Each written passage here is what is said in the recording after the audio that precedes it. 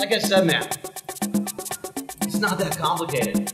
I landed in Taipei, checked in at Oxygen, met some of the cool people here, signed up for this awesome free walking tour, saw the president's house, big ass memorial hall, people eating fucking snakes and crocodiles, tried some of the local herbs, created Longshan Temple. This guy's like, hey, you gotta try this, think stinky tofu's the shit.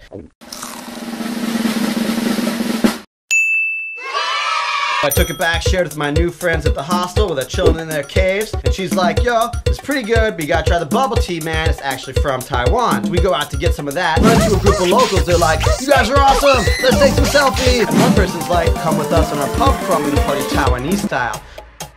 Here we had Taiwan beer, kaoliang, sake, some shots. Okay, all right, a lot of shots. And the guy at the desk was like, dude, you need some tea to detox, bro.